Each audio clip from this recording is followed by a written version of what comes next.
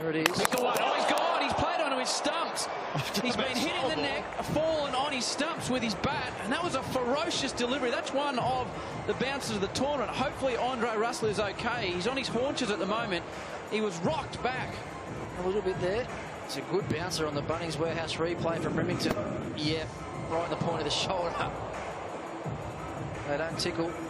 Probably a bit of a dead arm there, Junior. Like that, like that one you had in Adelaide when you knocked your stumps over as well. They come from nowhere. We thought the slow ball bouncer might be the one that was going to be used, but that's skidded on. He's trodden his stumps. He's done a lot. He's knocked the castle over, and he's got a bruise on that uh, point of that shoulder as well. So